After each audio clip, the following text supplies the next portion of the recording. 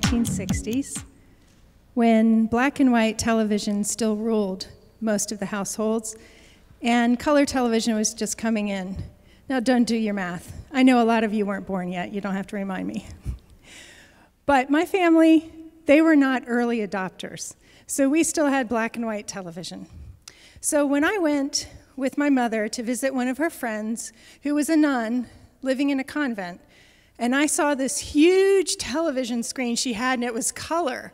I was like, wow, is this what you have to do to get a color television?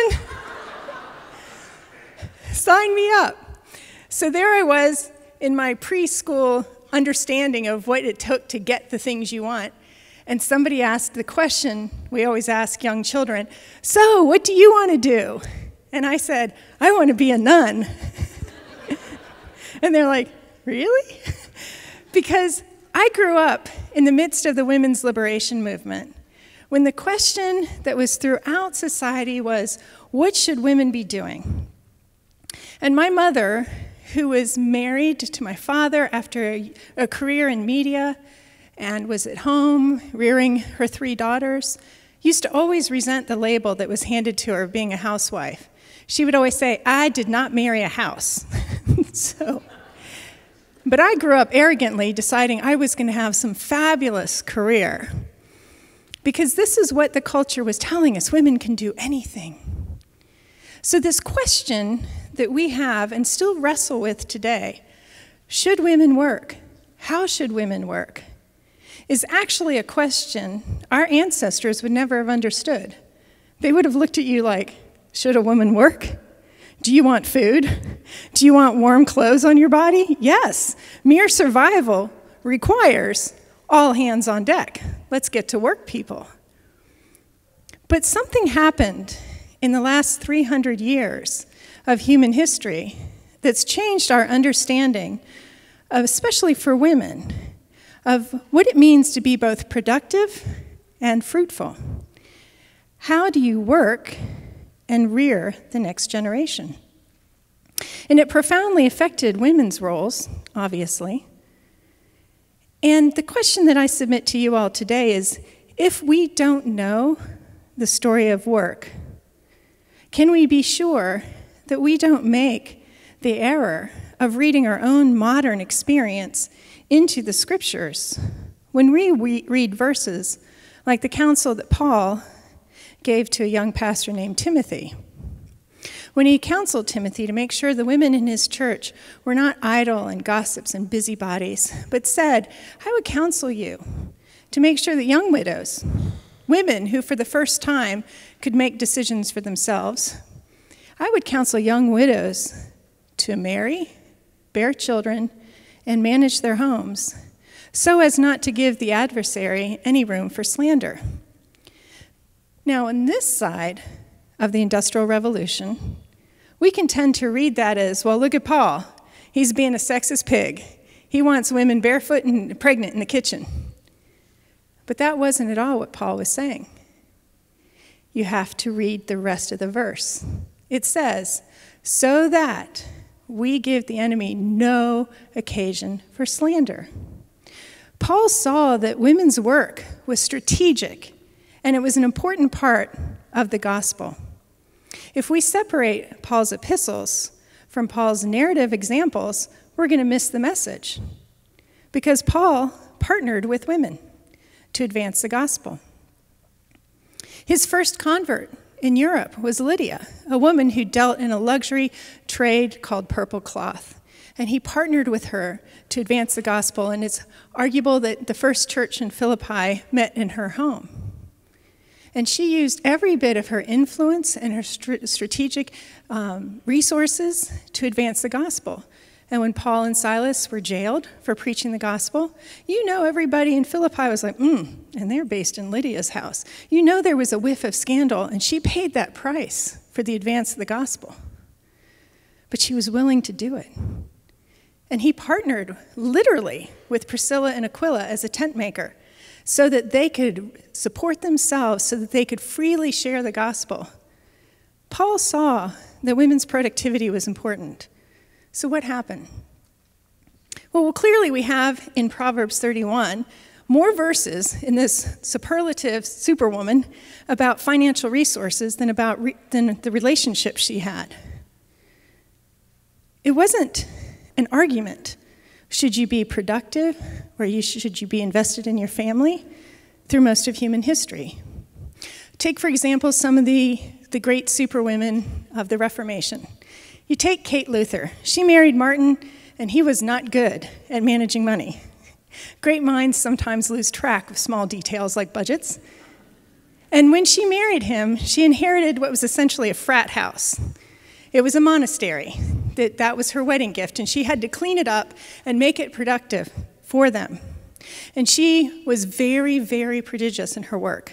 She'd get up early, she worked hard, and all of Europe came flying through her household. All of Europe wanted to sit and listen to Martin Luther. They wanted to trade the news of the Reformation. And Kate knew, you know what, we're running a bed and breakfast here. We got to make this a good business. And she went to her husband and said, We need to start charging room and board. And he agreed. That did not slow down the demand. There were more than 6,000 entries that people took down of the conversations that happened at their table that influenced the course of history. And they were able to do it because Kate managed what was their income. Then you take time, you go forward to Jonathan Edwards in colonial America, one of our greatest intellectual thinkers. And there's this wonderful story about Jonathan looking up from his study one day and looking at his wife Sarah and saying, Isn't it about time the hay got, came into the barn? And she said, Oh, yeah, it was done two weeks ago. Now, Sarah had 11 children, and like Kate, all of colonial America came to sit and listen to her husband at dinner too. So she had a big family, she had many guests, and she lived in colonial America, which, because of the politics of the American Revolution that was about to come, said, you know what, don't buy those British consumer goods. You need to make those things. So she had to make her own candles and make her own soap. A lot of work. But she wasn't out there with that, you know, scythe or whatever they use. I'm such a city girl, trying to get that hay in the barn. She managed the employees to get that in and manage the estate that helped pay for her family. Colonial America especially understood that productivity was a family issue. They understood that children were not only a gift from the Lord, but they were an addition to the family's productivity. You didn't have children wondering, like, I wonder what my dad does. You didn't have people taking their kids to work. Come to work, find out what dad does. It wasn't take your children to work day, it was that day every day. And so, if you were a silversmith, your wife learned your trade. Because if you got called up to war or you were injured or sick, somebody had to keep the family business going. Your children saw your clients, they worked with you alongside of you. When you were little, you learned to carry the slop pail. You did whatever you needed to do to make sure the family could eat. Productivity was a family issue. But along comes the Industrial Revolution. And the first industry that it disrupted was the industry that had long been women's work textiles. And these entrepreneurs set up these great big mills in New England, and they lured the young farm girls out of their families into these towns, and they said, Oh, it'll be so proper and so refined. We're going to have literary circles, and we're going to have matrons to oversee the home. And these girls are working 14, 16 hours a day, six days a week. Not a whole lot of time to be refined, but the idea was nice. And people came from around the world to see the Lowell Mill girls. Ironically, the first strike in America, the Lowell Mill girls, who said, This is a lot of work and somebody's not getting paid. But the Industrial Revolution changed the world from being self employed artisans, and now there are always exceptions. There were trade guilds going way back.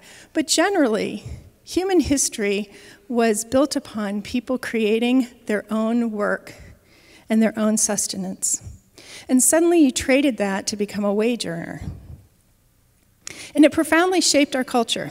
So much so that while some young girls, lower class girls, and children were being put to work in these factories, Other women were looking at the situation and saying, well, if there's capitalism running amok, what must we do? Well, we must refine the human soul at home. And so there was this period known as the Golden Age of Domesticity from 1830 to 1850, where everyone said, women, they're naturally morally superior, not good theology, and they shall be in charge of refining the characters of men. Now, I don't know any men who actually like women to be refining their characters. That's generally known as nagging. and for some reason, it's just not popular. And so during this time period, women saw themselves as being improvers of society as capitalism ran amok in our culture. And they also created what was known as the rise of the benevolent empire, where women said, well, if we're in charge of refining our characters at home, we're also going to refine society.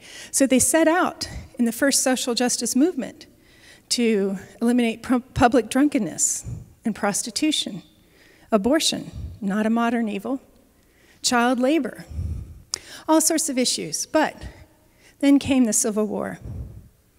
And we lost 600,000 men in the Civil War and created the first gender imbalance in our nation's history. And suddenly you had a lot of women who didn't have family structures and needed to be put to work, but encountered all kinds of barriers to being able to get educated or to work. Interestingly, it was the church that helped solve a lot of this because the church was at the height of its missionary movement then and said, let's put what was known as redundant women, redundant women to work as missionaries. And so women took the cause of the gospel and went out around the world to reach the lost. But at the same time, the US Census was saying, you know what? We're only going to count the wage earners. Anything you saved or grew or made for yourself, it didn't count. Only the wage earner counted and his dependents. So suddenly, the work of anyone else in the household didn't matter. And along comes the 20th century. And now the home is shifting from a place of productivity to a place of consumption. And this is where we are today. We've stopped seeing the home as a place of, of productivity, but consumption, and now we look outside and we say, how can we add value? And this is where all the struggles that we have seen through the women's liberation movement have come. And Christians, and there's a whole other long lecture assigned to take us through the 20th century, but Christians have an answer. And that is what you find in the parable of Matthew 25. What have you been given to invest for the glory of God? It means that your life is going to look different from the lives of those who are next to you but you have time, talent, treasures, relationships, and opportunities to invest that are different from those around you. So, should women work? Yes, they should work very hard and work hard for the glory of God. But it takes extra wisdom in a culture that separates productivity from parenting. Thank you.